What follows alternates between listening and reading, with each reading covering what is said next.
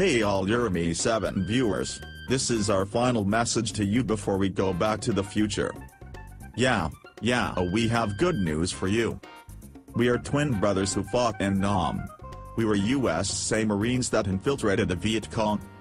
You see us in these cartoons on the Viet Cong side. Private Sarah Jayne Ross was a double agent like us.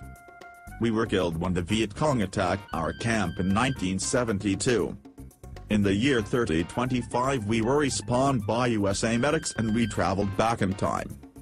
The good news is that by 3025 mankind has resolved issues like war, disease, pollution, poverty, greed and hunger.